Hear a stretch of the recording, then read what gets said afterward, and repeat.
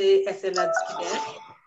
Madame Lebuy, est-ce que vous pouvez euh, muter votre euh, présentation? Merci beaucoup. C'est mon plaisir de présenter notre conférencier, Maître Hélène Gay. Maître Gay dirige un cabinet juridique de litige et représente des victimes d'erreurs médicales ou leurs familles et des personnes qui font l'objet de demandes ayant trait à leur capacité ou à leur intégrité.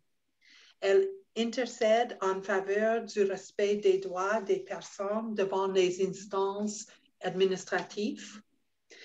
Euh, Madame Gay a développé une expertise en matière de représentation des aînés et la défense de leurs droits. Depuis 2014, elle a publié sur les aspects légaux de la maltraitance à l'égard des aînés dans des revues prestigieuses.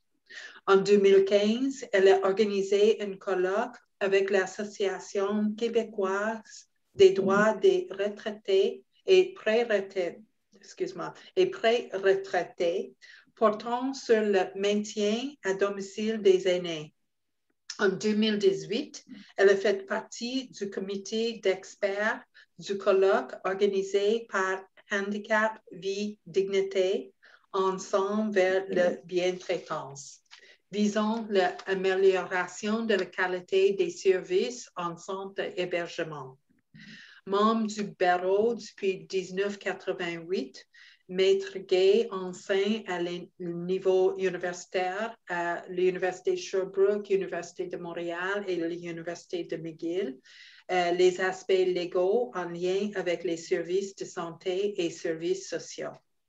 Depuis les années 90, Maître Gay est une conférencière euh, distinguée.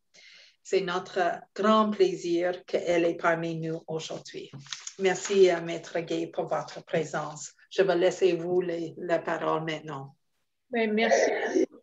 Merci, Kate. Merci infiniment de cette invitation. Quelle belle invitation et quel bel après-midi pour euh, vous retrouver, pour m'entretenir avec vous d'un sujet qui probablement vous préoccupe, vous intéresse. Si vous êtes là cet après-midi, c'est parce que non seulement vous êtes membre de la société, mais en plus, vous vous intéressez au sujet.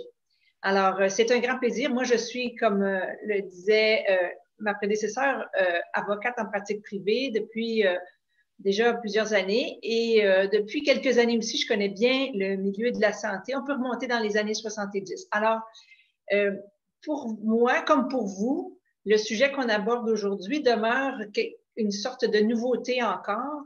Et avant d'arriver à le concret de ces directives médicales anticipées, j'aimerais voir avec vous quelques éléments qui sont des aspects légaux qui se rattachent à ces directives-là. La documentation qui va circuler devant vos yeux cet après-midi pour la prochaine heure, puisqu'on va se réserver un temps de 20 à 30 minutes de questions à la fin, euh, sera disponible, sera mise à la disposition euh, à la société et euh, elle est donc complètement, elle, elle, sera identique à celle que vous voyez cet après-midi, la documentation. Euh, on a environ une trentaine de diapositives pour vous donner une idée là, de ce vers quoi on se lance, tête baissée. Alors, voilà. Alors, si vous voulez bien, euh, à titre d'introduction, euh, je vous propose de nous poser certaines questions. Et vous en aurez sûrement d'autres. Alors, dans un premier temps, qui peut dicter à l'avance ses volontés de fin de vie? Je le fais dans le sens large plutôt que dans le sens restreint parce que je suis certaine qu'il va y avoir des questions qui vont déborder les directives médicales anticipées. Mais qu'est-ce qu'on entend par des directives médicales anticipées? Et aussi, quels sont les choix valides de traitements médicaux en fin de vie? À savoir, est-ce que par ces directives médicales anticipées, je peux faire des choix et lesquels choix je peux faire à l'intérieur de ce document-là? Puisqu'on parle de document légal, eh bien, il faut s'attendre à ce qu'il y a un certain poids. Mais d'où vient cette idée-là d'accorder un poids à ce document-là? Mais c'est que dans notre droit québécois, on donne beaucoup d'importance à la primauté des volontés, c'est-à-dire vos volontés à vous quand euh, vous êtes euh, déjà majeur, quand vous êtes plus ou moins préoccupé par une situation de vie qui vous interpelle au niveau santé, euh, quand vous êtes préoccupé par celle qui s'abat sur votre proche, ben on se, on se concerte, on s'entend pour reconnaître que les volontés de la personne concernée par la situation, elles sont importantes. On va leur accorder une priorité, d'où l'expression primauté des volontés. Et dans notre droit québécois aussi, il y a euh, de cela, je vous dirais, une trentaine d'années, on s'est bien entendu à l'effet que on peut décider à l'avance d'une situation éventuelle. Hein? Vous et moi, on est d'accord, on est euh, ici euh, sur Terre, un jour nous n'y serons plus, on est en plus ou moins bonne santé, on est plus ou moins habile avec nos, nos capacités, euh, à un moment donné, on aura plutôt des capacités résiduelles. Alors, est-ce qu'on peut anticiper ce que la loi nous dit? Oui, on peut anticiper les décisions dans l'éventualité où on arrive à une autre situation de vie que celle dans laquelle nous sommes présentement. Et des directives, des directives médicales anticipées, on va le voir dans, sa description, elles sont contraignantes. Alors, c'est exceptionnel, c'est une situation hors du commun qui est bien spécifique aux directives médicales anticipées. On va y revenir. En, toile de fond de tout ça, je le rappelle, ce sont les droits de la personne. Alors, si moi, je décide de, un jour de penser à l'aide médicale à mourir ou penser à des directives médicales anticipées, c'est parce que fondamentalement, j'ai des droits. Et toute personne a des droits, plus ou moins diminués, plus ou moins articulés, plus ou moins verbal. Toute personne jouit du droit à la vie plus ou moins handicapé, plus ou moins limité, toute personne aura la vie, à la liberté, à la sauvegarde de sa dignité. Les tribunaux ont interprété ces articles-là qui se trouvent dans la Charte des droits et libertés de la personne du Québec, qui est en place depuis 1975. Donc, vous comme moi, on la connaît bien, cette charte-là. Du moins, on devrait la connaître. Et je pense que c'est pas, pas mal placé de se rappeler que ces droits-là existent. Il y en a d'autres, mais ceux-ci sont, sont très importants pour notre propos de cet après-midi. Dignité et égalité. C'est ça que le préambule de la charte nous dit. Que la dignité, c'est une valeur sous-jacente aux droits et libertés de la personne. Euh, on entend et on voit toutes sortes de comportements à l'égard de personnes qui sont inégales à d'autres. Hein? On n'est jamais, on n'est pas égaux. On aimerait bien que tout le monde soit égaux. On aime, mais on, on voudrait s'assurer par cette charte-là que tous les êtres humains sont égaux en valeur et en dignité. Peut-être pas en capacité, peut-être pas en âge, peut-être pas en sexe, on n'est pas égaux, mais en valeur et en dignité, nous sommes égaux et nous sommes protégés par la charte qui nous procure cette protection à différents égards. Dans l'interprétation de la notion de dignité humaine, ce que la Cour suprême nous a enseigné, et vous le savez comme moi, vous l'avez vu, vous l'avez connu, le docteur Morgan Thaler. Il a fait pas mal de démarches, mais au final, il a apporté énormément au plan euh, légal, dans le sens où la Cour suprême s'est prononcée sur cette notion-là. Et encore aujourd'hui, on y réfère à cette notion de dignité humaine, qui est ni plus ni moins équivaut à euh, ce droit-là de choisir. Et cette décision-là a été utile lorsque la Cour suprême s'est penchée sur l'affaire Rodriguez, sur l'affaire Carter, lorsqu'elle a rendu sa décision en 2015 dans une cause que vous connaissez certainement. Alors oui, on a le droit de choisir, puis l'État, c'est-à-dire le gouvernement, doit respecter le choix de chacun. Et il le fait justement en ayant mis à la disposition de chacun des directives médicales anticipées, puisque par ce document-là, on peut faire des choix. Autre grand principe très important, c'est que toute personne est présumée apte. Parce que moi, cet après-midi, je ne vous lis pas qu'est-ce que le site de québec.ca ou ce que le ministère de la Santé vous donne en ligne. Ce que je vous lis cet après-midi, ce sont les aspects légaux des directives médicales anticipées. C'est un peu comme si je vous disais, ben oui, pour préparer euh, un, bon plat, ben ça va prendre tel ingrédient, tel ingrédient, puis voilà pourquoi je voudrais avoir telle sorte d'ingrédient. Alors, moi, ce que je vous dis, oui, on va le préparer le plat. Vous allez voir les aspects plus techniques, plus, euh, accessibles aussi euh, sur Internet ou autrement. Ce que je vous donne, c'est les fondements. Pour que vous soyez rassurés dans des choix que vous pouvez faire, que vous pouvez euh, exercer. Et donc, c'est dans l'exercice des droits que je vous explique que le contexte dans lequel s'inscrivent les directives médicales anticipées. Alors, l'aptitude, l'autonomie, ça, c'est des grands principes que, ben oui, il est apte, non, il n'est pas apte, il est incapable. Bon, au départ, entendons-nous, là, toute personne est présumée capable. C'est une prémisse qu'on a dans notre droit québécois. Alors, si on prétend qu'une personne elle a plus sa capacité, c'est celui qui prétend qu'elle a plus sa capacité de le démontrer. Parce que même fragilisé, même âgé, même avec des symptômes et des signes qui s'accentuent avec les semaines, les mois, les années, l'aptitude est présumée. Et vous le savez, le syndrome entraîne pas nécessairement une inaptitude, certainement diminution des capacités. Mais l'aptitude reste la prémisse jusqu'à ce que quelqu'un vienne dire Oh, moi j'ai évalué qui a une inaptitude. Alors, la loi nous confère la possibilité, lorsqu'on a notre aptitude, de mettre dans des écrits des volontés, des choix de vie qu'on veut faire. Quelques exemples rapidement.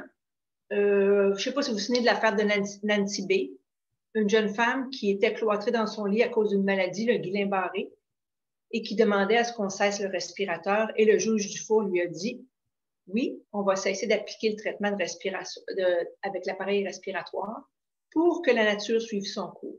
Alors, qu'est-ce qu'elle a demandé? Elle n'a pas demandé l'aide médicale à mourir. Elle n'avait pas, pas des directives médicales anticipées. En 92, ça n'existait pas. C'est seulement depuis 2015 qu'on peut les, signer. Elle a demandé tout simplement une cessation de traitement. Donc, la cessation de traitement existe en parallèle des directives médicales anticipées. Autre exemple de, lecture que font les tribunaux de cette notion d'autonomie, quel que soit son âge, la personne humaine a le droit qu'on reconnaisse son autonomie, son indépendance, sa volonté. Quel que soit son âge, je dirais, quel que soit son état de santé, quel que soit son état euh, d'incapacité physique, la personne humaine a le droit qu'on reconnaisse son autonomie, son indépendance et sa volonté. Droit de choisir indépendamment de ce que les autres me proposent, me disent de faire, me recommandent? Je peux songer, dormir là-dessus, prendre ma décision le lendemain. Alors, il faut se rappeler que les directives médicales anticipées, bien entendu, ça s'insère dans un contexte de grande notion de fin de vie ça s'insère pas dans un contexte de euh, aujourd'hui et maintenant alors que je suis active. Ça a été euh, inséré dans une loi qui s'appelle la loi sur les soins de fin de vie que nous avons, euh, qui a été euh, adoptée, qui est entrée en vigueur euh, il y a de cela cinq ans et qui avait comme objectif et qui a toujours comme objectif d'assurer aux personnes en fin de vie des soins respectueux de leur dignité, de leur autonomie. Vous voyez, c'est pas euh, c'est pas une invention ce qui est écrit dans cette loi-là. C'est quelque chose qui est tiré des grands principes avec lesquels nous sommes en accord dans notre société démocratique et qui émane de la charte qu'on a adoptée collectivement. Alors, cette loi-là vise à préciser les droits des personnes et aussi vise aussi à ce que toute personne ait accès à des soins de qualité et adaptés. Rien de nouveau sous le soleil, c'est un grand principe qu'on a adopté aussi au Québec, que tout le monde devrait avoir accès à des soins de santé de qualité de manière continue. Pas toujours facile à appliquer.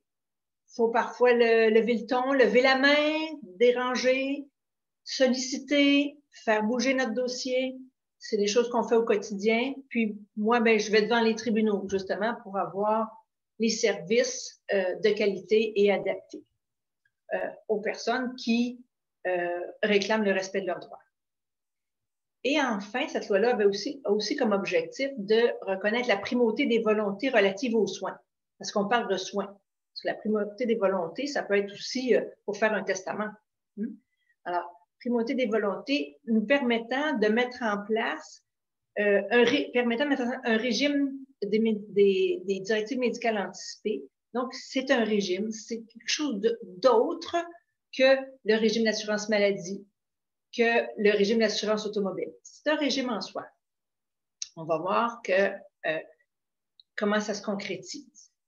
Alors, les grands principes sous-jacents à la prestation des soins de fin de vie, c'est d'abord le respect de la personne, la reconnaissance de ses droits, c'est aussi que la personne en fin de vie doit toujours être traitée avec compréhension, compassion, courtoisie, équité, respect de sa dignité, son autonomie, ses besoins, sa sécurité. C'est beaucoup de respect, c'est beaucoup de tâches qui reposent sur les personnes qui fournissent les services.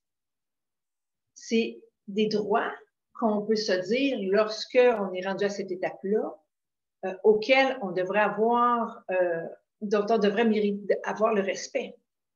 C'est beaucoup de droits que nous avons en fin de vie que ceux qui sont énoncés au paragraphe 2. C'est autant d'obligations en réponse de nos droits de ces, prestataires-là, ces fournisseurs de soins. On peut leur rappeler qu'ainsi va nos droits, par conséquent leurs obligations. Alors, les membres de l'équipe de soins doivent ce respect-là envers la personne en fin de vie. Et plus que ça, ils doivent aussi établir une communication ouverte et honnête. Ils doivent la maintenir. Ça, ça veut dire de mettre à jour, d'exprimer de façon claire, simple et suffisamment précise à la personne concernée l'étape où elle se trouve, les alternatives qui lui sont offertes, les possibilités d'accepter de, se voir offrir des services ou de les refuser. Donc, une communication ouverte et honnête, ça veut dire ne pas taire l'information à la personne concernée et la réserver seulement pour l'entourage. Ou l'inverse, euh, ne pas inclure l'entourage alors que la personne concernée elle-même aimerait que l'entourage soit impliqué. Chacun, on a notre profil de vie, notre cheminement. Les situations changent, sont diverses. On est, membre d'une société, mais nos, images, nos, programmes de vie sont différents. Alors, chaque personne peut avoir sa perspective par rapport au type de communication qu'il ou elle désire avec les, avec entretenir avec l'équipe de soins. Puis évidemment, dans la notion de fin de vie, ça comprend les directives médicales anticipées, c'est la dernière section de la loi, mais ça comprend aussi euh, ces autres sections-là, ces autres soins de vie-là, qui sont les soins palliatifs, la sédation palliative continue et l'aide médicale à mourir. Le seul qu'on aborde cet après-midi, ce sont les directives médicales anticipées comme sujet. Alors, ce que la loi nous dit, ce, que, ce, qui, est, ce qui est à notre disposition, c'est, c'est que toute personne majeure apte à consentir peut indiquer dans des directives ce qu'elle aimerait recevoir comme soin et ce qu'elle préférait ne pas recevoir comme soin dans l'éventualité de son inaptitude.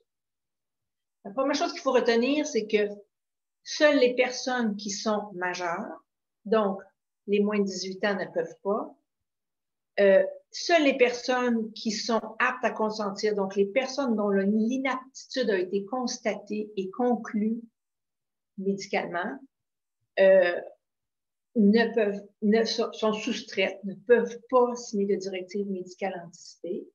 Donc, une personne qui est déjà avancée dans son inaptitude à consentir aux soins ne pourrait pas signer des directives médicales anticipées. Une jeune fille de 16 ans qui est lourdement affectée ne pourrait pas non plus signer directives médicales anticipées, puisqu'on restreint cette catégorie de personnes majeures et aptes à consentir. Pourquoi? C'est une protection? C'est qu'on veut s'assurer qu'il y aura ces personnes de 18 ans et plus qui sont aptes à consentir auront eu la, la capacité, ont toute la capacité de décider pour elles. Évidemment, c'est aussi des directives qui sont adressées à une personne qui les signe et non pas aux proches. Alors, l'indépendance qu'on veut avoir quand on signe des directives médicales anticipées est importante ce qui ne veut pas dire qu'on ne peut pas se faire assister, qu'on ne peut pas se faire aider, qu'on ne peut pas se faire expliquer. D'ailleurs, physiquement, il se peut qu'on se trouve dans une situation où on n'est pas en mesure de tenir un crayon, où on n'est pas en mesure de tenir une tablette, mais qu'on est quand même capable d'exprimer nos volontés de, manière euh, indépendante, c'est-à-dire sans pression extérieure. Alors, les directives médicales anticipées, c'est un document. C'est un document qui comporte des décisions qui ont trait à la santé d'une personne. Préalablement à une situation d'inaptitude. Dans l'éventualité d'une inaptitude à consentir aux soins et à les refuser. Alors, au départ, on peut se dire que, donc, ça va prendre un document. Ça ne sera pas verbal. Je ne pourrai pas dire, oh oui, moi, je veux pas de réanimation. C'est un vœu, c'est une volonté, ce n'est pas une directive. Si je deviens inapte, assure-toi que je ne serai pas réanimée, je ne veux pas être comme ma tante Suzanne. Non. Je, pour qu'elle soit valable, valide et respectée, les directives doivent être écrites, premièrement. Deuxièmement, ça, doit porter, ça porte exclusivement sur des décisions relatives à la santé. Donc, il n'est pas question d'autres décisions. Il n'est pas question d'hébergement. Il n'est pas question de, de, de, de biens. Il est question exclusivement de décisions de soins, de décisions qui ont trait à la santé de la personne et pas la famille ou l'entourage. Et, comme on le disait, préalablement à l'inaptitude à consentir. Alors, l'inaptitude à consentir, c'est peut-être important de se rappeler que on parle de soins parce qu'il y a beaucoup de différentes sortes d'inaptitudes. Il y a une inaptitude à administrer des biens, une inaptitude à signer des documents, une aptitude à désigner un liquidateur, une aptitude à prendre des décisions concernant sa personne, exercer ses droits civils, une aptitude exercer des droits civils, par exemple, euh, compléter une déclaration de revenus, on est dans la saison, euh, voter, euh, faire un testament, ça, c'est d'autres types d'inaptitudes. Évidemment, il y a une seule et même personne. C'est possible que l'inaptitude à consentir soit pas loin d'inaptitude à désigner un liquidateur, mais c'est pas, ce sont des évaluations qu'on fait un peu en silo. L'inaptitude à consentir, ça a une certaine particularité. Parce qu'au départ, on se dit la personne est apte à consentir et à refuser. Alors, vous et moi, on peut accepter de recevoir, par exemple, un vaccin euh, pour éviter les effets secondaires de la COVID. Exemple. Bon, on peut aussi le refuser. C'est notre droit. Mais si on devient inapte à consentir, à ce moment-là, il y a un mécanisme qui va devoir entrer en considération, qui est la représentation par une autre personne. Alors, rappelons-nous, cette aptitude-là doit être, ne doit pas être affectée pour pouvoir signer les directives médicales anticipées. Le document comme tel peut indiquer le nom d'une ou plusieurs personnes de confiance qui vont remettre le document au médecin en temps porteur. On va voir un peu plus loin qu'il y a euh, aussi d'autres alternatives, mais je peux signer mes directives médicales anticipées et choisir euh, de le donner et de choisir de nommer une personne de confiance qui, elle, le temps venu, va les remettre au médecin. Ça, c'est une option. C'est pas obligatoire, c'est un choix on peut tout simplement les enregistrer sans nécessairement écrire de nom.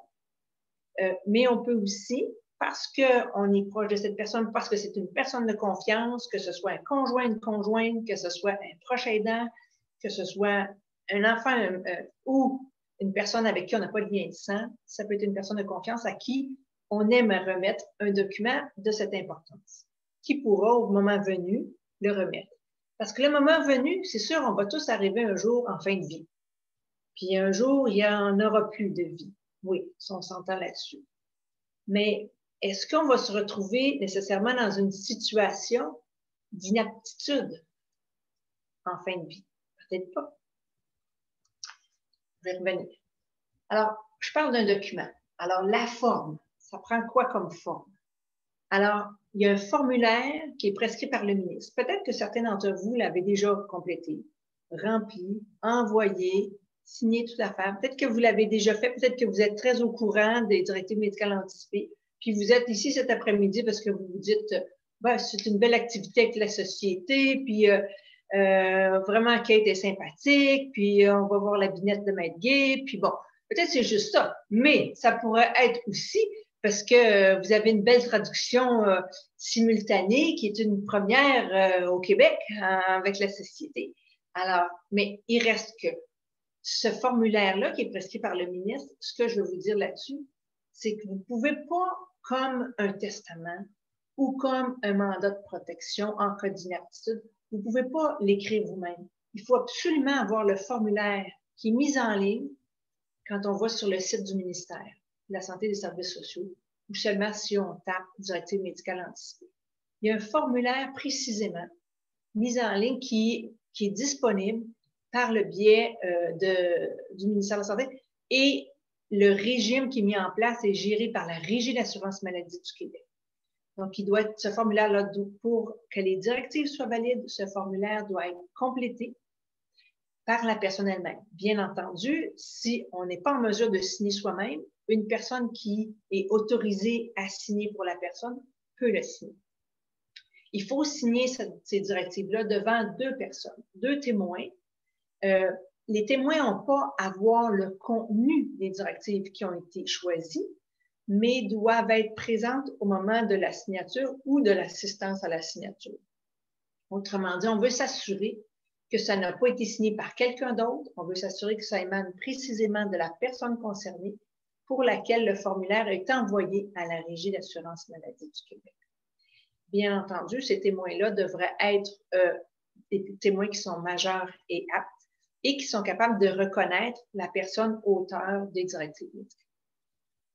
On peut aussi aller chez le notaire ou la notaire et signer des directives médicales anticipées par le biais d'un acte notarié les deux ont le même poids. Autrement dit, il n'y a pas plus de poids aux directives faites devant le notaire qu'aux directives faites par le formulaire prescrit par le ministre. Qu'est-ce qu'elles contiennent? Permettez-moi.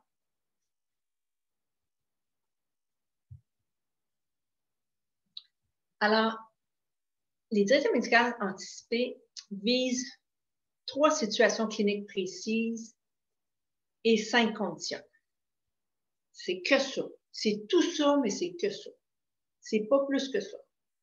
Puis vous allez voir que ça vise pas tous les soins. Ça vise certains soins. Mais ça vise tout d'abord trois situations cliniques. Quand vous allez voir le formulaire, vous allez voir, il y a un document explicatif qui est très bien fait aussi et qui va énoncer les situations l'une à la suite de l'autre avec les cinq soins qui vont être énoncés sous chacune des situations. Alors, ça va être un peu répétitif, mais c'est l'exercice qu'on doit faire.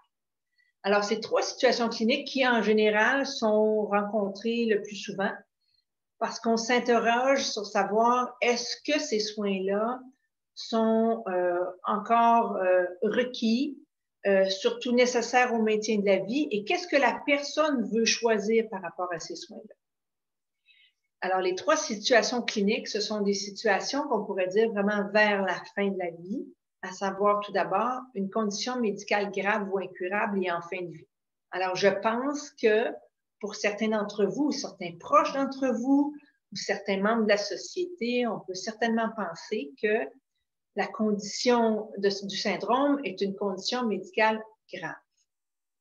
Et là, et qui est pour le moment malheureusement incurable sauf, corrigez-moi si je me trompe, mais peut-être qu'un jour, on, trouvera une véritable solution. Et une situation aussi en fin de vie. Alors, aujourd'hui, si j'ai eu mon diagnostic il y a un an, euh, c'est bien différent que lorsque je serai avancée dans ma maladie euh, dans huit ans. Hein. Alors, donc, euh, il faut retenir que cette situation clinique elle exige non seulement la condition médicale, mais également la situation de famille. C'est important parce que ça va déterminer quand on va ouvrir les directives médicales anticipées. Qui va les ouvrir, bien sûr, vous voulez le savoir, mais c'est quand aussi. Parce que pour le moment, là, si elles sont signées, elles sont dans un tiroir, elles attendent. Elles attendent quoi? La survenance de l'inaptitude et la fin de vie.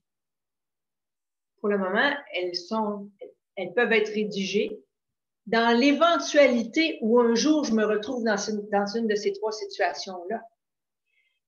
La deuxième situation, c'est celle d'atteinte sévère et irréversible des fonctions cognitives. Alors, un état comateux ou un état neurovégétatif. Très clair. Vous voyez l'avancement. Et la troisième situation, l'état d'atteinte sévère et irréversible des fonctions cognitives. Le plus souvent, on va faire référence à une démence. Alors, avancer et on se situe toujours dans un contexte de fin de vie non pas au moment où le diagnostic est émis, Le diagnostic, c'est pas la personne, mais le diagnostic est émis et il y a une progression, vous le savez comme moi. Et à un moment donné, il peut y avoir des variations d'une personne à l'autre et on va arriver à plus grande perte de, de capacité. Et finalement, un jour, quand plus tard, on nul ne le sait, il y aura survenance de euh, le début de la fin de la vie, si on peut dire ainsi. Alors, donc, sous chacune de ces situations-là, cinq clauses relatives aux soins de fin de vie. Voulez-vous ou non la réanimation cardio-respiratoire? Hypothèse, vous êtes rendu dans la situation numéro un. Voulez-vous ou non la réanimation cardio-respiratoire? Voulez-vous ou non la ventilation avec un respirateur? Voulez-vous ou non un traitement de dialyse? Voulez-vous ou non? Acceptez-vous ou refusez-vous l'alimentation forcée? Acceptez-vous ou refusez-vous l'hydratation forcée? Seules ces cinq clauses sont incluses, dans les directives et peuvent faire l'objet de, de choix à l'avance dans l'éventualité d'une inaptitude en fin de vie. Alors, le formulaire est ainsi fait qu'on coche les cases, à savoir si on accepte ou on refuse ce soin. Vous voyez qu'il n'y a pas le soin, par exemple, de transfusion, d'antibiotiques, de médicaments. Pourquoi? Parce que ces clauses relatives aux soins de vie se concentrent sur des situations où on va maintenir la vie avec un soutien extérieur qui va être un peu, un peu moins ordinaire, on pourrait dire, que la médication, la transfusion sanguine ou les antibiotiques, exemple, ou les soins euh, par plus attentifs de, confort, par exemple. Alors, j'espère que tout le monde suit jusque-là. Euh, vu que je n'ai pas d'interaction avec vous, euh, c'est un peu particulier, évidemment, le virtuel, mais je pense que en autant que vous vous endormiez pas, en autant que j'entends personne ronfler, ça va bien aller. Mais comme vous avez fermé vos micros, je suis tranquille, j'entends personne ronfler. Alors, euh, voilà. Donc, euh, ces directives-là anticipées, qu'est-ce qui passe-t-il une fois que je les ai, que j'ai pris le temps de les compléter? Euh, elles sont transmises à la régie ou, ou remises au médecin. Alors, le plus simple, c'est certainement de les transmettre à la régie d'assurance maladie. Pourquoi? Parce que à ce moment-là, elles sont enregistrées, elles sont dans le système, elle ne risque pas d'être perdue, elle ne risque pas d'être entre les mains d'un professionnel de la santé qui change d'adresse de cabinet, qui prend sa retraite, qui délègue à un autre. Donc, il me semble que euh, c'est facile de les transmettre à la RMQ d'ailleurs. Euh, le formulaire avec les indications pour le compléter euh, est très aisé et très facile et indique très, très bien euh, que les directives doivent être euh, postées à la Régie d'assurance maladie du Québec pour être versées dans le registre des directives. Euh, elles sont versées au registre. Pourquoi? Parce qu'éventuellement, ce registre-là sera consulté. Mais, elles peuvent aussi être dans le dossier médical. Vous pouvez penser déjà avoir signé mandat en prévision d'inaptitude mandat de protection, vouloir qu'il soit versé dans votre dossier pour indiquer voici la personne qui euh, m'assistera, qui me représentera dans les décisions. Euh, vous pouvez faire de même pour les directives. Il n'y a pas d'obstacle. Le médecin peut recevoir, verser dans le dossier, voici mes directives. Et peut-être qu'il y a certaines situations, comme si je suis effectivement affectée par le syndrome, peut-être que je voudrais en discuter plus ouvertement avec mon neurologue et voir et m'assurer auprès de lui qui comprend très bien que euh, je suis apte aujourd'hui à consentir, j'ai signé mes directives, voici euh, ma conjointe va être celle qui va être directement impliquée. Euh, j'ai toujours mon aptitude, on est d'accord, docteur? Oui, OK, on se revoit dans deux mois, parfait. Bon, alors, voici mes volontés. Alors, je peux, surtout quand j'arrive à un stade où j'ai une bonne relation, évidemment, et que je suis toujours avec mon même neurologue, je peux penser que c'est pas une mauvaise idée de le tenir informé, de, le, de partie de l'équipe. Il me connaît, il est conscient, euh, il me fait des bonnes suggestions, moi je lui en fais mon tour. Euh, donc, euh, il, il, est toujours, il est à l'affût, puis il est attentif surtout à mes volontés. Donc, c'est pas une mauvaise idée de lui en remettre une copie. Euh, il faut savoir aussi que les directives peuvent être révoquées en tout temps. Hypothèse, j'ai choisi, euh, j'ai fait un choix de ne pas avoir de dialyse. Puis euh, après ça, après discussion, on m'a suggéré que c'était peut-être pas une mauvaise idée une dialyse, c'est temporaire, ça peut durer un certain temps, puis après ça, c'est correct, on peut s'en sortir. Donc, si j'ai choisi de révoquer, de, de, de révoquer toutes mes directives, euh, je peux le faire en tout temps. Sur la base de quoi? Parce que ce sont mes volontés, c'est mon choix, ce sont mes décisions, ma volonté a, pris, a euh, prévaut. Euh, il existe quand même, quand vous irez sur le site des directives ou sur le, le, site du ministère, un formulaire qui existe à cette fin-là. Évidemment, une fois que le formulaire est rentré dans le registre, s'il n'est pas changé, ce formulaire-là, si le registre a juste capté le formulaire qui a été initialement entré et qu'il n'y a rien d'autre qui survient par la suite, le registre, lorsqu'il va être questionné, un peu comme un registre des testaments, un registre de mandat de protection, lorsqu'on va le questionner, il va sortir ce formulaire-là. Donc, si j'ai un changement que je veux faire, je dois aviser le registre, je dois informer la RMQ, je dois remplir soit, un formulaire de révocation soit euh, remplir un formulaire de modification. Je ne peux pas simplement écrire sur un bout de papier, ben moi j'aimerais modifier ça ou euh, finalement je change d'idée. Je voulais des mesures de réanimation. Aujourd'hui, je n'en veux plus. J'ai cheminé, ça fait deux ans que j'ai rempli mon, formulaire. J'aimerais changer d'idée maintenant. autour de moi, la, vie a changé, mes proches ne sont plus les mêmes ou sont pas aussi en mesure d'être présents. J'ai cheminé. Euh, ça, ça fait partie du quotidien de tout être humain. Puis, euh, euh, on, peut très bien considérer que c'est très approprié de changer. Et de fait, c'est peut-être même un exemple de capacité de jugement, de comprendre que ah ben la vie a suivi son cours, puis moi je suis rendue ailleurs, puis je décide de changer mes, directives, dans un sens ou dans l'autre. Mais une modification, il est nettement primordial que ce, soit remplacé par d'autres directives. Pas simplement penser que parce que j'ai envoyé le formulaire, j'en ai gardé une copie, je le change, ça va être correct. Non, il faudra changer complètement les directives, ce qui n'est pas un gros tracas parce que c'est quand même assez court euh, comme document. Le tracas, c'est peut-être d'avoir des témoins, de prendre le temps, mais une fois que c'est fait, on est soulagé. Euh, le médecin qui est proche de vous, le neurologue, parce que je pense que très souvent, ça sera un neurologue, ou en tout cas, ce sont des spécialistes qui sont très impliqués euh, par rapport au syndrome aussi, dans les soins. Alors, ce médecin-là qui va constater un changement d'état significatif chez euh, une personne qui a versé des, directives médicales anticipées dans son dossier peut vérifier, peut questionner. C'est pas pour lui faire de la pression, mais peux juste s'assurer, ah, tu m'avais donné des activités anticipées. Est-ce que c'est toujours ça que tu veux? Est-ce qu'elles correspondent toujours à tes volontés?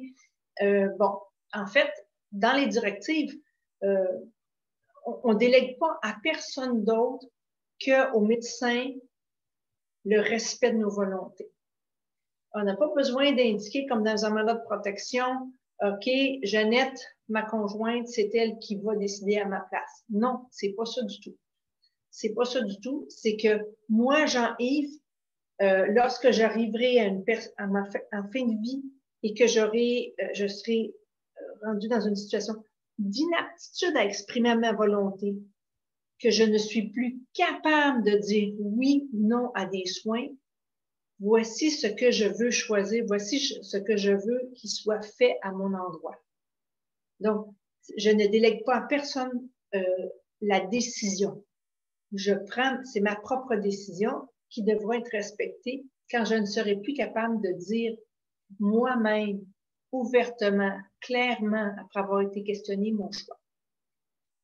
Alors, le changement significatif, ça va être le médecin qui va le noter. le médecin qui va constater, ben, OK, là, je pose des questions, euh, le jugement, ça marche pas fort, je pose des questions, d'habitude, il me répondait avec assez, assez de, clarté, pas une question de rapidité, là, question de clarté. Euh, bon, alors, est-ce que euh, je trouve qu'il y a un bon changement depuis deux mois que je ne l'ai pas vu? Alors, là, évidemment, s'il y a une inaptitude qui s'est installée, ben à ce moment-là, on ne peut plus changer les directives. Mais dans une période, dans une certaine période, il peut arriver qu'il y ait eu un changement significatif qui permettra au médecin de, de discuter les directives avec la personne concernée, l'auteur des directives. Et quand le médecin va constater l'inaptitude, bien à ce moment-là, il pourra, et que la personne va être en situation de fin de vie, il pourra consulter le registre. J'insiste sur cet aspect-là. Parce que, vous savez, inaptitude à consentir à des soins, là, euh, ça peut survenir, euh, ça peut survenir aujourd'hui. Moi, je peux me retrouver à avoir un accident, puis je n'ai plus la capacité de, de, de comprendre ce qu'on m'explique, puis de prendre des décisions. Euh, mais je suis pas nécessairement en fin de vie. Puis à l'inverse, je peux arriver en fin de vie, puis euh, bon, j'ai le syndrome depuis des années, puis je garde mon aptitude tout le temps jusqu'à la fin, jusqu'à la fin, jusqu'au moment où je dis bonjour à tout le monde. Ça peut arriver, vous le savez. Euh, mais encore là, il n'y a pas d'équation entre la survenance de l'inaptitude et euh, l'accès aux directives médicales anticipées. Pourquoi? Parce qu'il faut non seulement que le médecin constate l'inaptitude, mais il faut aussi se trouver dans une situation de fin. C'est important. Parce qu'on ne peut pas permettre au médecin d'aller voir dans le registre s'il y a des directives, puis qu'est-ce que disent les directives, puis qu'est-ce que je dois faire si on ne se retrouve pas dans une situation où on se questionne sur les soins à apporter en fin de vie. Ça prend une situation de fin de vie. Alors, si jamais le médecin s'aperçoit qu'il y a une inaptitude, puis qui constate aussi qu'on est rendu dans cette situation-là, il peut à ce moment-là euh, faire ressortir les directives médicales anticipées, les verser dans le dossier. Pourquoi? Parce que les directives, tout ce temps-là, elles sont au registre. Elles sont à Québec. Je fais un signe comme ça parce que je suis pas à Québec, mais peut-être qu'il y en a parmi vous qui sont à Québec. Euh, donc, euh, elles sont inscrites et elles sont temporellement là-bas. Alors, il peut les récupérer et les verser au dossier. Alors, l'inaptitude, comme on le disait, ça survient à un moment où euh, on ne le souhaite pas, on ne le souhaite jamais. Euh, Est-ce qu'on a un contrôle là-dessus euh, sur l'inaptitude à consentir aux soins? Je pense pas. Probablement que dans 40 ans, ils vont avoir développé une façon de, peut-être même moins, de déterminer quand la survenance ou d'éviter ou d'amoindrir. Hein? Vous savez, vous le savez comme moi, on a, on a vécu les années de développement de transplantation des organes. Euh, avant 1950, c'était quelque chose d'extraordinaire. Maintenant, on est rendu qu'on fait des pas de géant pour toutes sortes de maladies. Puis peut-être que pour le syndrome, il y en arrivera aussi. Mais chose certaine sur l'inaptitude, c'est quelque chose qu'on connaît, qu'on comprend de plus en plus, qu'on constate de plus en plus. Et essentiellement, ça fait référence à la capacité d'une personne de comprendre les bienfaits et les inconvénients d'un traitement. Hein? Est-ce que ça vaut la peine euh, de la réanimation? Est-ce que ça va laisser des séquelles? Est-ce que euh, si on réanime une fois, est-ce qu'on peut réanimer deux fois? Euh, est-ce qu'on peut réanimer avec succès? quelles seraient mes chances de survie si j'avais un traitement de dialyse? exemple, ou quelles seraient mes chances de, de, confort si euh, j'acceptais une hydratation euh, euh, artificielle? C'est quand même important. Alors, même avant de, cocher une case, on peut s'arrêter à ça. Quels sont, les, inconvénients de recevoir une, une alimentation artificielle? Est-ce qu'il y en a des inconvénients? Est-ce qu'il y a des bénéfices? Alors ça, c'est cette notion, cette analyse-là, quand on est capable de la faire, on on confirme qu'on a la capacité de comprendre les bienfaits et les inconvénients liés à un traitement.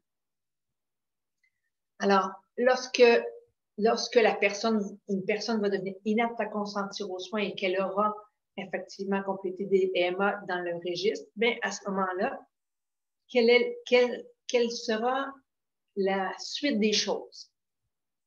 La suite des choses, c'est qu'on va questionner le registre. C'est qu'on va constater des directives. Et qui va devoir respecter ces directives-là? Les médecins, l'équipe de soins. Et qui va devoir euh, les respecter également? L'entourage de la personne. Alors, si dans mes directives, moi, j'ai demandé de recevoir, euh, et je sais que je suis atteinte du syndrome, et je sais que ça sera pas facile pour personne, mais je sais que si j'ai une hydratation artificielle, je dis ça là, je, je sais pas c'est pas prouvé scientifiquement, mais hypothèse que l'hydratation artificielle me permettrait d'être plus confortable, me permettrait de prolonger légèrement, me permettrait de ne pas, euh, bon, d'éviter certains inconvénients. Peut-être que j'ai coché oui. Et ce sera de mes volontés que l'équipe de soins, les professionnels et mes proches devront respecter. Pourquoi? C'est comme si j'étais capable au moment où on me le demande, est-ce que vous êtes d'accord pour recevoir l'alimentation? Oui, euh, ou l'hydratation, tiens, oui. Alors, elles ont la même valeur au moment où je suis devenue inapte que lorsque je suis apte et je suis capable d'exprimer mon consentement au soin. Alors, c'est comme si je parlais au médecin pour lui dire, je vous dicte de faire telle chose. Je vous dicte pourquoi? Parce que ce sont des directives médicales. Je dirige le médecin vers cette euh, attitude-là, vers ce respect-là de ma décision. Une décision que je suis, qu'on présume euh, avoir été éclairée. J'ai eu la, possibilité de poser des questions. On m'a donné l'information. On m'a dit, oh non, ça, ça vaut, ça vaut pas la peine. Oh non, ça va être des grandes souffrances. Oh non, ça, ça vaut la peine. Alors, j'aurais eu l'information nécessaire. Peut-être qu'elle m'aurait été fournie. Peut-être que j'aurais pu poser des questions. J'en aurais discuté, mais j'aurais eu l'information nécessaire pour prendre ma décision. Si oui, si je coche, accepte ou refuse un soin particulier. Une décision éclairée, puis vous entendez souvent parler de cette expression-là, consentement éclairé au soin. Un consentement éclairé, là, ça, ça veut dire que je l'ai pris en connaissance de cause. Ça veut dire que été libre de, prendre ma décision. J'ai pas eu de pression. Quelqu'un m'a suggéré, mais j'ai pensé, je peux discuter, je peux être influencé. Il n'y a personne qui n'est jamais influencé. Ben, peut-être. Il y a peut-être des dirigeants de pays qui sont dans leurs décisions euh, euh, ne se sentent pas influencés de qui que ce soit, mais en pleine connaissance de cause, ça, veut dire euh, j'ai pris le temps de, réfléchir à mon affaire, puis je, donne ma décision, je prends ma décision. Si je veux recevoir ou pas des soins en cas d'inaptitude et de fin de vie. Pour les cinq situations, bien entendu, que je les trois situations et les cinq euh, conditions euh, de, traitement qu'on a vues tout à l'heure. Alors, mes directives médicales anticipées, ce sont des, comme je le disais, ce sont des ordres à l'égard d'un médecin, ce sont des directives, ce sont donc des demandes à laquelle, auxquelles il ne peut pas échapper. Euh, pour y échapper, il faudrait qu'il se tourne vers le tribunal. Pour pour, s'il devait y échapper, euh, mes proches, un mandataire, un tuteur, un curateur ou, euh, un proche, pourrait se tourner vers le tribunal puis demander de respecter mes volontés. Hypothèse, j'ai euh, écrit dans mes directives que je ne veux pas de respirateur lorsque je serai dans une situation de fin de vie, lorsque je serai inapte dans mes directives, c'est coché que je ne veux pas de respirateur et pour une raison X, les professionnels de l'hôpital n'ont pas respecté cette volonté. Alors, on pourrait penser qu'on irait devant le tribunal pour faire respecter les directives. J'ose espérer que ça n'arrivera pas. Ça m'étonnerait que ça arrive parce que je pense que la façon dont le système est installé maintenant, c'est que les directives sont très prisées, il y en a énormément, le registre euh, contient beaucoup de directives et euh, il m'apparaît pas que les professionnels de la santé euh, sont malheureux de, voir qu'il existe des directives médicales anticipées pour un patient particulier. Il m'apparaît pas qu'ils sont mal à l'aise de les respecter.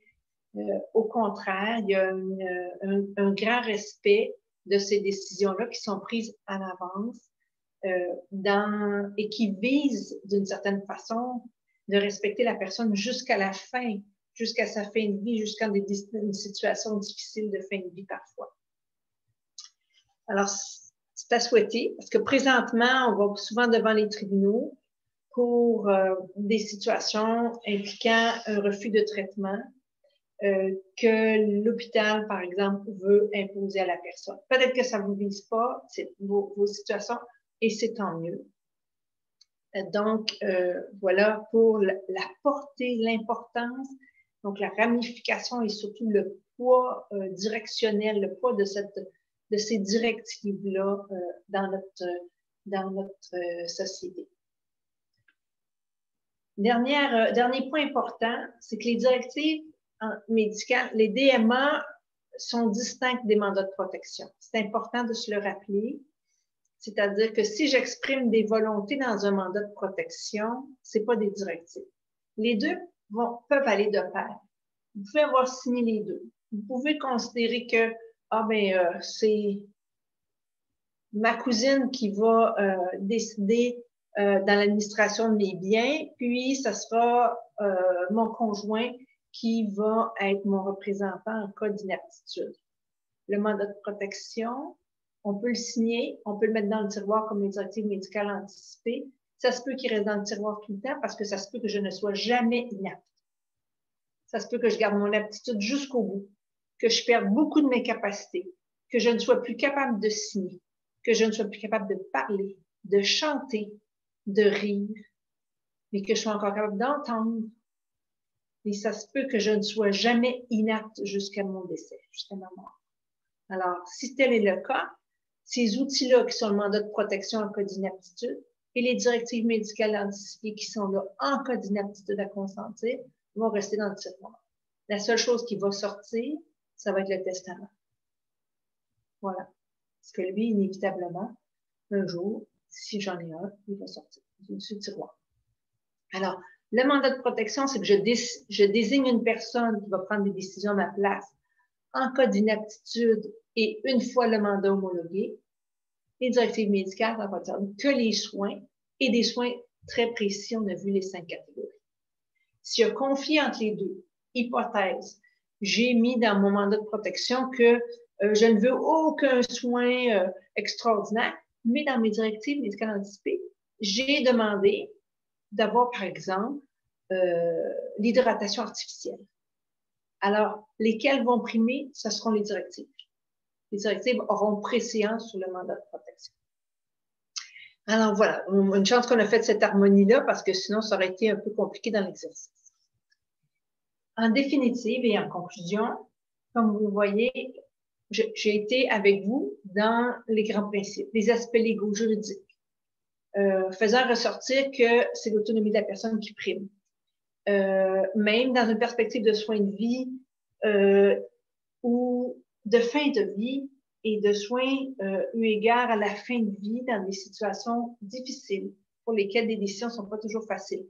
Prendre une décision maintenant par rapport à une situation qu'on peut imaginer, qu'on peut en partie planifier, parce qu'on peut jamais planifier à 100%, mais qu'on peut envisager comme étant possible, sinon probable, c'est une option qui nous est ouverte. C'est notre choix. On peut le faire comme on peut pas le faire. Si on n'a pas de directive, qu'est-ce qui va se passer? Se poser la question. Si j'ai pas signé une directive médicale anticipée et que je deviens inapte et que je suis en fin de vie, la loi prévoit que les proches vont accepter ou refuser les soins. Parce qu'on ne tombe pas entre deux chaises. Il n'y a pas de vide. La loi est là pour justement récupérer toutes, toutes, toutes les situations, ou presque, les situations qui méritent une décision. Parce que le consentement aux soins, il doit être donné par une personne toujours. Le refus de soins, il doit aussi être donné par une personne.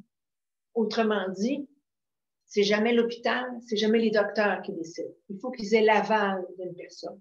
Alors, si un jour je n'ai pas de directive médicale anticipée, pour X raisons, je les ai pas signées. Euh, j'en ai pas signé, je les ai pas envoyées au registre, je les ai signées, euh, elles sont restées sur la table. Euh, et il arrive une situation d'inaptitude, euh, et, donc elles n'ont pas été enregistrées, on ne peut pas s'en servir.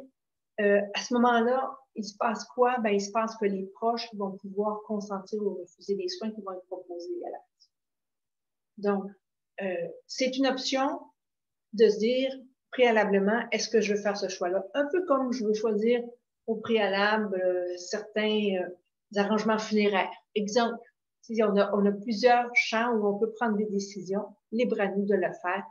Donc, voilà, qu'est-ce qu'on peut, voilà qui, qui nous est offert cette possibilité-là par ces directives.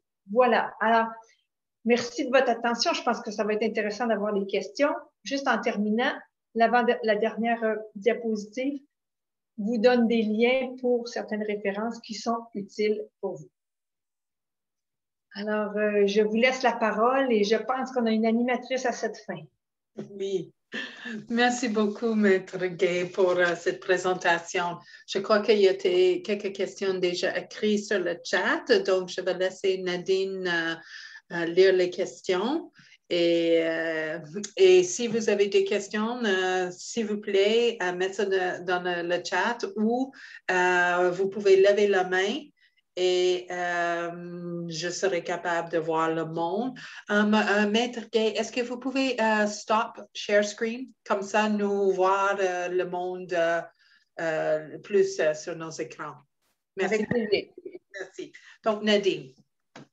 Oui, bonjour. Merci beaucoup, euh, Maître Guy, pour votre euh, présentation. Donc, euh, on a quelques petites questions, dont la première, en fait, il s'agit plus des, des témoins. Donc, doivent-ils être un membre connu de la personne, ami, famille, ou un personnel de la santé peut aussi signer comme témoin?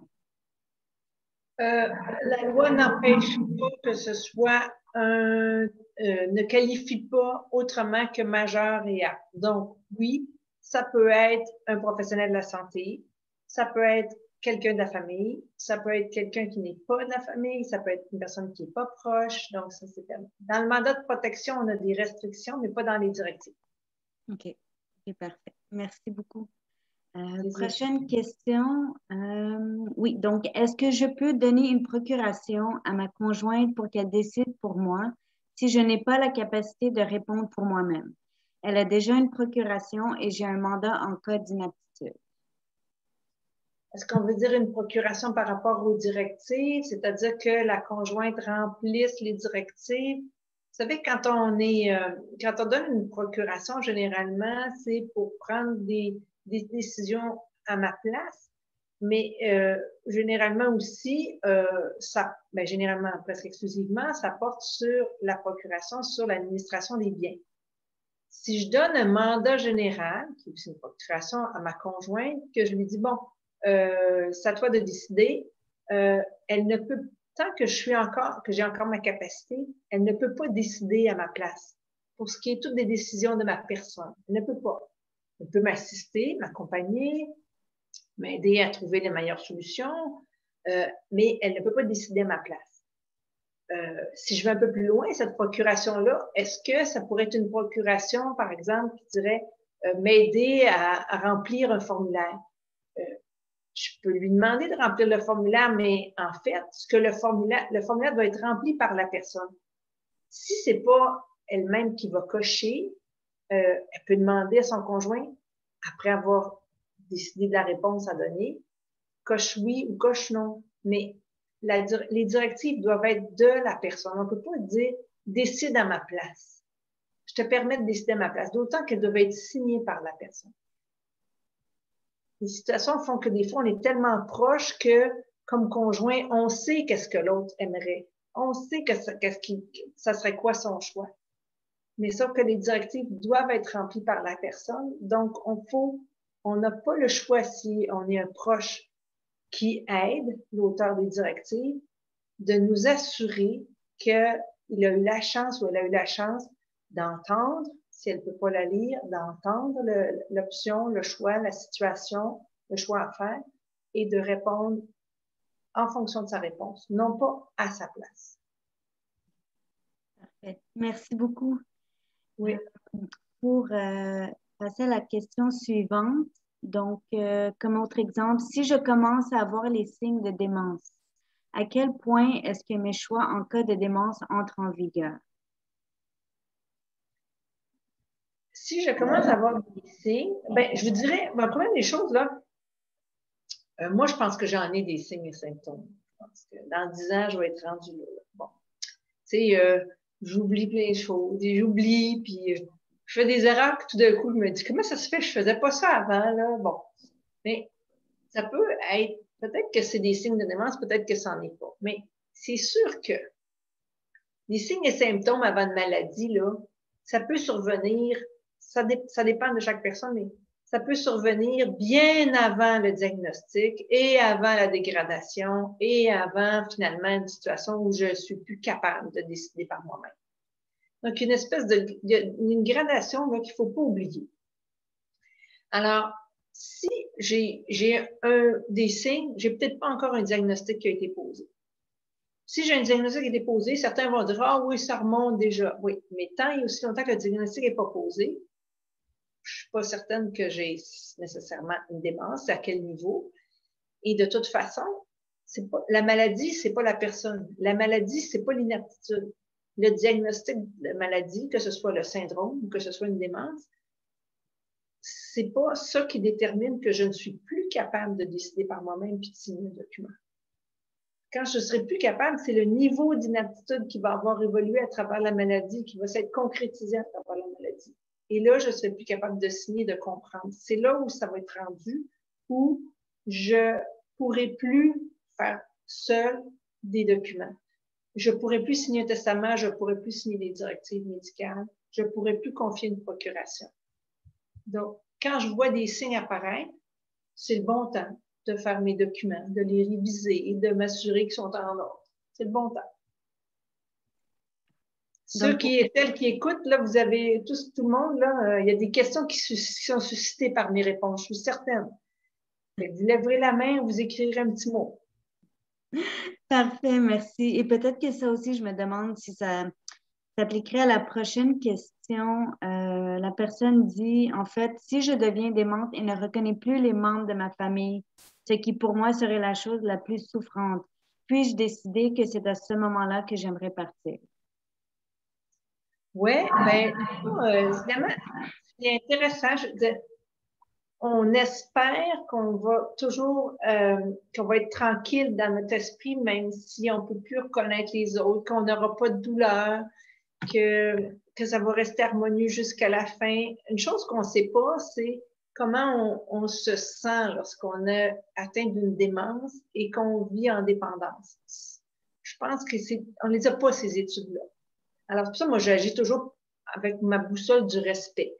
Je respecte, puis je me dis, je ne sais pas ce que la personne ressent, ce qu'elle entend, comment elle réagit. Alors, on peut se dire, ah, j'aimerais pas être rendu là, soit parfait, je voudrais pas ne pas reconnaître mes proches, mais de ne pas reconnaître des proches ou d'être atteint d'une démence ou, ou d'être euh, en situation là, de, de, de, grande dépendance, ça ne nous donne pas un droit de mettre fin nos jours ce droit-là de mettre fin à nos jours, il existe, il existe un droit de mettre fin à nos jours, oui. Euh, avoir accès à l'aide médicale à mourir, c'est un droit, mais il y, en a il y a beaucoup de conditions à remplir, vous le savez, beaucoup de conditions.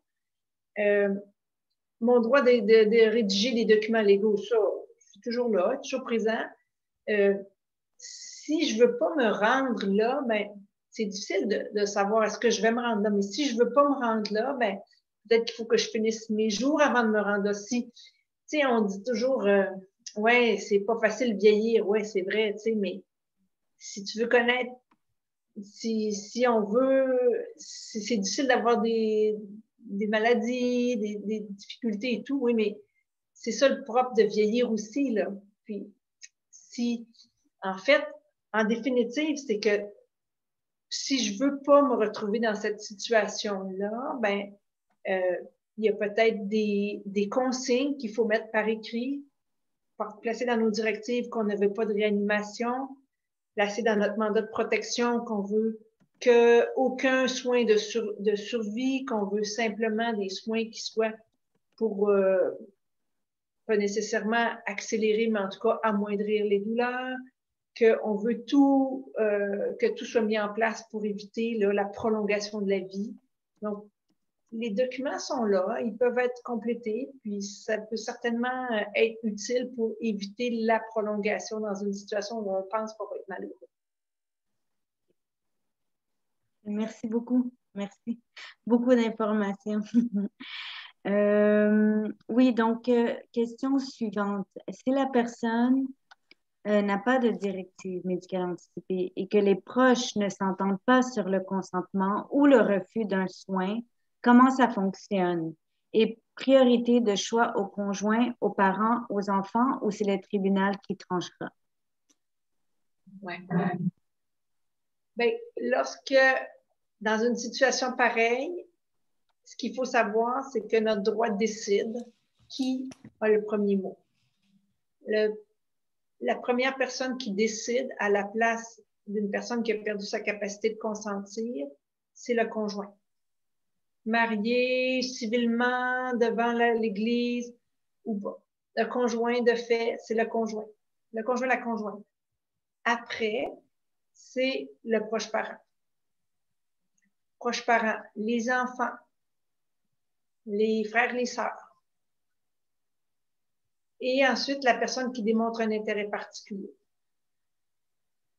Alors, des fois, on n'a pas de frère, pas de sœur, ça va être la personne qui démontre un intérêt particulier. Alors, il y a une gradation. Donc, les enfants n'ont pas préséance sur le conjoint. La conjointe a toujours préséance.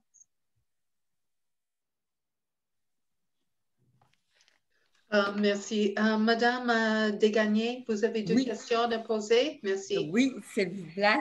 Bonjour tout le monde. je voulais vérifier, s'il vous plaît, en fin de conférence, vous avez mentionné que les DMA prévalent sur le mandat de protection, même si les dates sont ultérieures?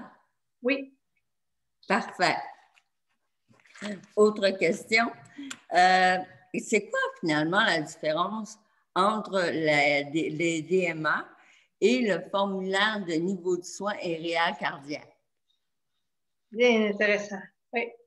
Le, niveau le formulaire de niveau de soins, c'est un document qu'on devrait considérer comme un document de discussion avec les médecins.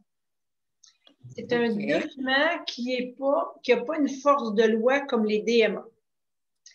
C'est un document qui devrait, qui est habituellement discuté au moment où il y a une admission en soins de longue durée.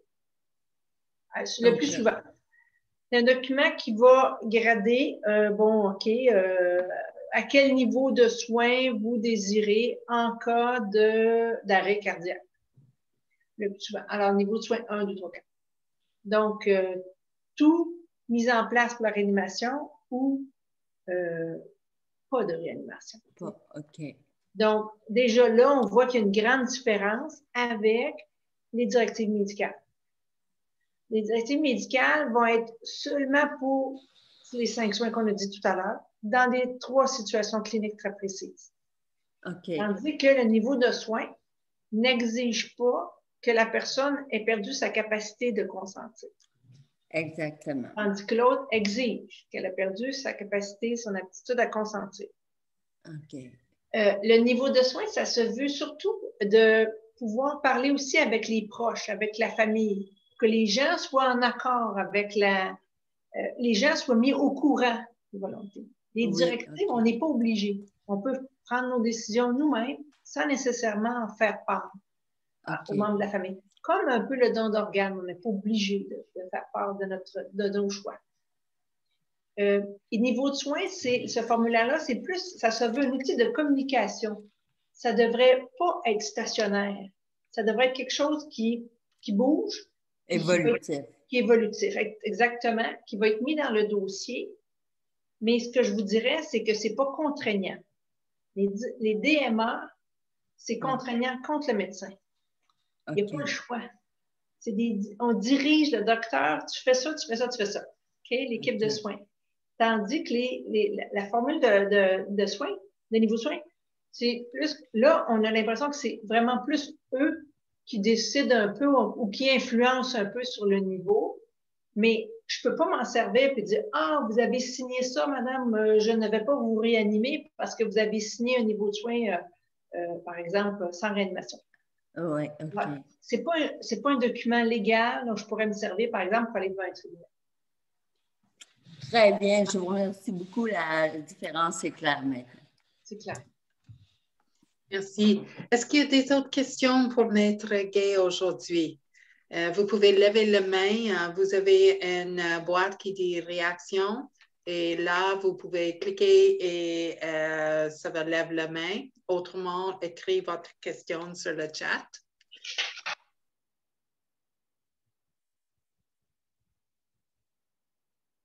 On avait eu une question avant ça hein, sur euh, la demande d'aide médicale à mourir. Merci beaucoup. Je pense qu'on avait eu, euh, je pense que c'est clair, les gens font la différence entre l'utilité des directives et l'aide médicale à mourir. C'est deux situations bien différentes. Oui, je crois que oui.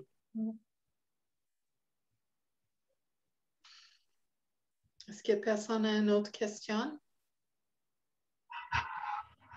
C'est sûr qu'il doit y avoir plein de questions dans vos têtes. Probablement. Hein? Il y avait dans la discussion.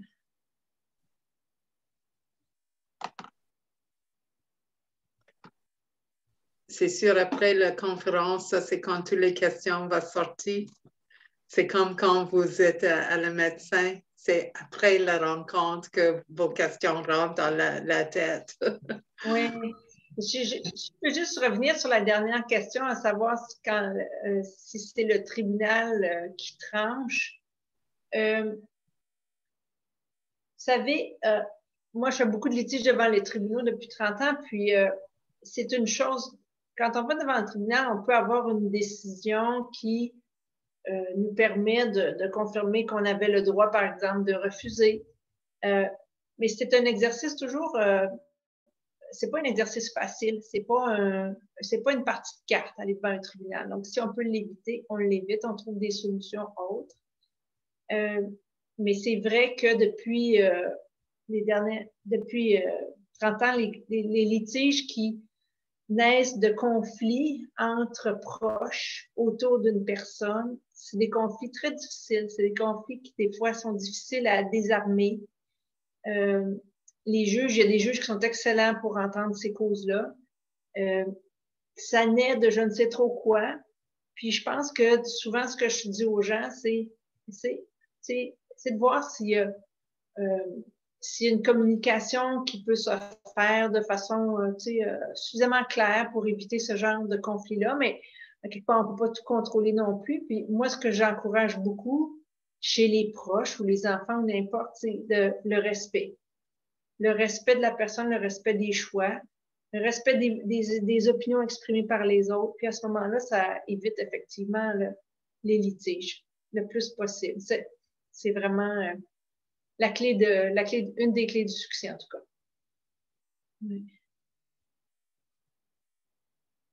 Est-ce qu'il y a... Oui, question, Monsieur Lapointe.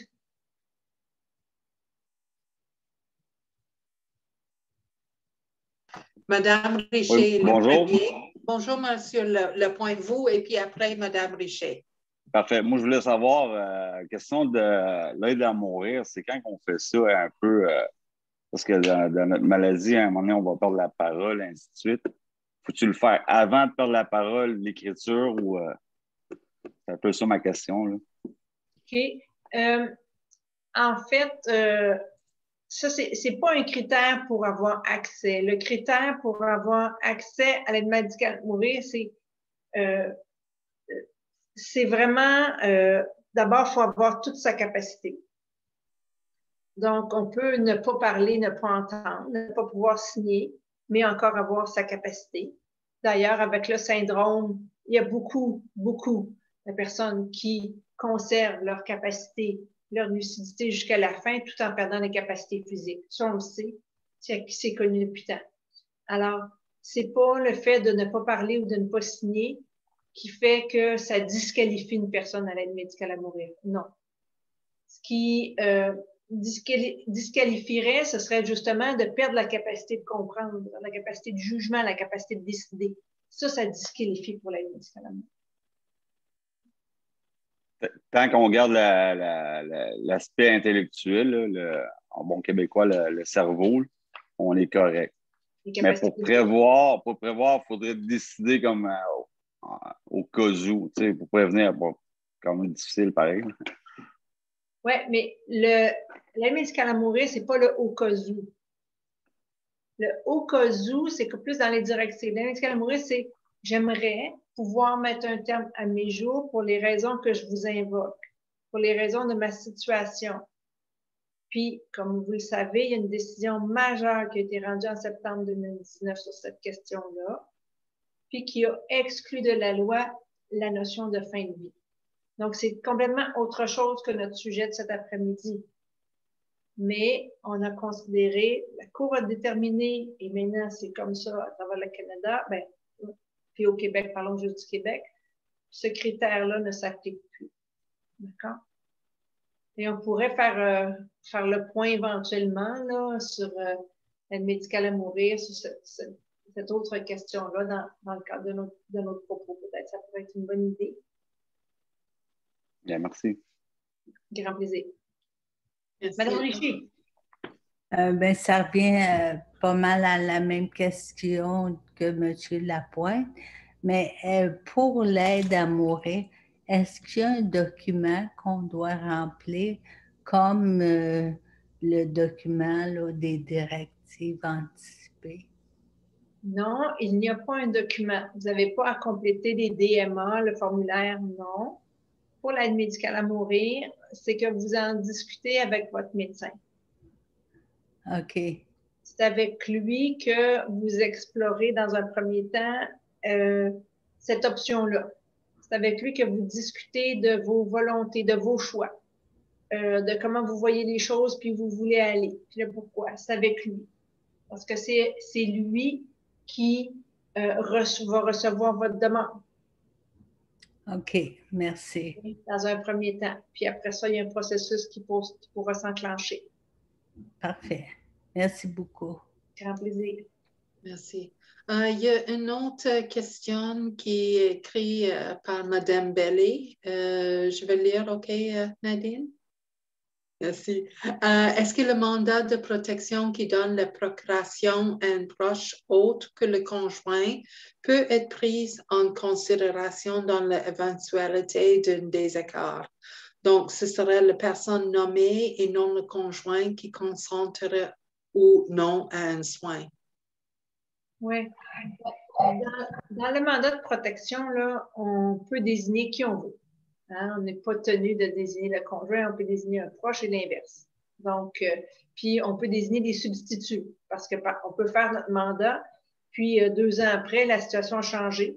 C'est le substitut parce que la première personne désignée, elle est plus capable elle-même, elle est décédée ou elle n'a elle a pas la disponibilité ou la capacité. Bon, alors donc ça, c'est toujours une bonne idée d'avoir des substituts. Ensuite de ça, euh, le mandat, c'est une chose. Comme je disais tout à l'heure, on le met dans le tiroir. Mais le mandat, en fait, d'inaptitude, c'est que on va le sortir du tiroir quand il va y avoir une inaptitude. Il va falloir le faire homologuer. Le faire homologuer par le tribunal, pas le notaire. Le faire homologuer par le tribunal. Le tribunal fait ni plus ni moins que donner, moi, je dis cette expression-là, la bénédiction au mandat. Le tribunal vérifie est-ce que ce mandat-là est fait correctement? Soit qu'il est notarié, soit qu'il est fait devant deux témoins indépendants qui n'ont pas d'intérêt euh, dans, dans la situation du mandat. Une fois qu'il est homologué, là, le mandataire, il peut dire, OK, moi, je décide à la place de la personne signataire. Moi, je décide à la place de l'auteur du mandat. Là, il y a plein de pouvoirs pour décider. Est-ce qu'à ce, moment-là, j'ai un mandataire qui est... Euh, est-ce qu'il y a plus de pouvoir, mettons que c'est je sais pas, c'est ma cousine, c'est pas mon conjoint. Est-ce qu'il y a plus de pouvoir du fait qu'il est mandataire puis qu'il y a un mandat de protection qui a été homologué? La réponse est oui. Il y a plus de pouvoir décisionnel que le conjoint. Parce que la loi dit, à défaut d'avoir la capacité de décider pour soi, une personne autre va décider dans les soins qui nous sont. Les soins, on parle juste, juste de soins, on ne parle pas d'autres décisions en matière de soins, si je n'ai plus ma capacité de dire oui ou non à un traitement, oui ou non, OK, on continue, euh, ou bien euh, je veux que ça cesse, ou euh, c'est correct, mettons, momentanément, je n'ai plus ma capacité de comprendre et de prendre mes décisions. Alors, qu'est-ce que fait l'équipe de soins? Se tourne vers une personne qui va consentir à ma place. Si j'ai signé un mandat de protection, je suis arrivée, là, je suis inapte. Je suis devenue inapte. J'ai signé un mandat de protection. Puis ce mandat-là a été homologué par le tribunal. Cette personne-là que j'ai désignée, qui est mandataire, a de grands pouvoirs décisionnels pour toutes mes décisions de soins. Au-delà de tout le monde. Au-delà du conjoint, au-delà des enfants, c'est ce mandataire-là qui décide. Généralement, on choisit une personne de confiance, une personne qui nous respecte, une personne qu'on respecte, avec qui on a des valeurs similaires, une personne qui nous connaît généralement, mais ça peut être aussi une personne qui nous connaît peu, mais qui euh, est dédiée à nous respecter. Ça peut être ça aussi. Donc, ce mandataire-là prendra les décisions au-delà. Et là, si les membres de la famille ne sont pas en accord, ben, il peut y avoir des conflits, comme on disait tout à l'heure. Et sinon, c'est ce mandataire-là qui a le dernier mot. Est-ce que ça répond? Merci. Je crois qu'il y a une autre question de la chat, Nadine. Oui, donc euh, la question suivante, euh, oui, c'est au sujet de pour euh, l'aide à mourir. Si nous n'avons pas de parole ni l'usage de nos mains, est-ce qu'il faut prendre un notaire? Est-ce qu'il faut prendre un notaire? Est-ce qu'il faut passer par un notaire? Pour l'aide médicale à mourir? Mm. ben, des attestations médicales comme quoi la personne comprend et n'est pas en mesure de signer, ça se fait tous les jours. Peut-être qu'il y en a parmi vous qui en ont. Peut-être que vous en avez déjà vu. Euh, des fois, c'est des fois même, j'ai déjà vu euh, ergothérapeute, euh, médecin, écrire comme quoi cette personne n'est pas en mesure de signer, mais telle personne de confiance peut signer à sa place. Ça, c'est des attestations. Des attestations pour nous permettre de continuer de faire nos choix en étant incapable physiquement de signer et ou de parler. Mm-hmm. Alors ça, c'est souvent la proche aidante, la personne proche aidante qui va être la personne désignée sur ce document. Si je veux faire des documents notariés, je peux me servir de cette attestation-là pour avoir la personne proche aidante qui a été désignée comme étant mon porte-parole d'une façon pour m'assister. Elle peut pas le faire unilatéralement toute seule. Elle peut pas décider sans me consulter et sans ma présence. Euh, mais le notaire peut pas non plus faire des documents sans avoir eu cette possibilité-là de m'exposer euh, qu'est-ce que le document contient, puis de prendre mes instructions. Si je peux pas parler puis je peux pas écrire, mais, mais que je comprends et je suis capable de communiquer, là, à ce moment-là, la personne proche aidante qui, qui est considéré être capable de véhiculer les informations peut donner des instructions au notaire. Mais le, le notaire a aussi des règles de conduite. Hein. Il va peut-être vouloir avoir des attestations, des choses comme ça. Ça, faut pas s'offusquer, se blesser de ça, s'insurger contre ça parce que nous, comme professionnels, on veut s'assurer qu'on est vraiment tranquille avec les instructions qu'on reçoit puis qu'on va mettre dans un document. Je peux, je peux faire un testament même si je peux capable d'écrire. C'est sûr. Si je suis au moins capable de communiquer euh, une volonté. Moi, j'ai eu des clients qui avaient euh, zéro. Ben, je c'était vraiment avec euh, euh, la, la, girafe sur la tête pour pouvoir communiquer avec nous. Là, Mais on les avait, les instructions. On, on les comprenait. J'ai déjà eu à la cour une personne qui était dans un fauteuil roulant, presque une civière, pour venir donner son opinion.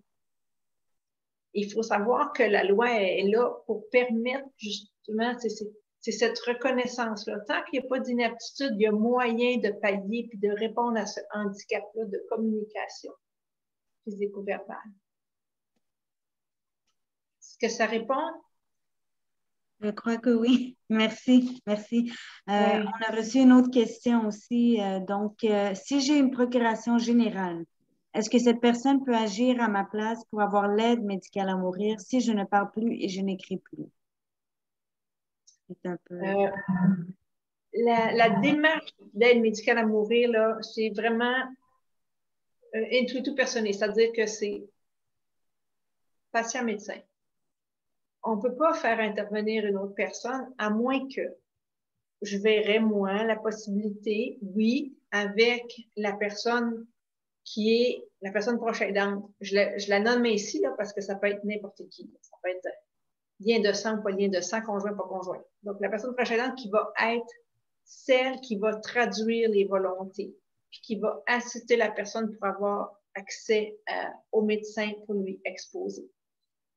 Il va falloir il va falloir rencontrer les conditions d'aptitude, puis peut-être que le test va être euh, très, très rigoureux, puis répétitif, puis le médecin va vérifier, puis il y a un deuxième médecin qui vient vérifier aussi, puis est-ce qu'elle a toute sa capacité? Parce que là, avec cette assistance-là, moi, je pense que si c'est de pallier à l'incapacité physique, la personne proche aidante pourrait pallier à la capacité, à l'incapacité physique d'exprimer verbalement. Mm-hmm. que ça pourrait, ça ne devrait pas nuire à pouvoir avoir accès à l'aide médicale à. Parce qu'on n'a pas tout on n'a pas juste des madames, euh, des, des madames, c'est quoi, c'est madame Truchon, puis monsieur, euh, bon, pas, eux, ils étaient très articulés, puis ils étaient très en mesure à se déplacer à la cour, etc. Mais on le sait, le syndrome progresse, puis on peut se retrouver dans des situations avancées euh, mais oui, l'assistance devrait pouvoir permettre d'avoir accès. Euh, je crois bien. Ça ne devrait pas être un, grand ennui. Les neurologues sont habitués de toute façon aussi. OK. Mm. Parfait. Merci beaucoup.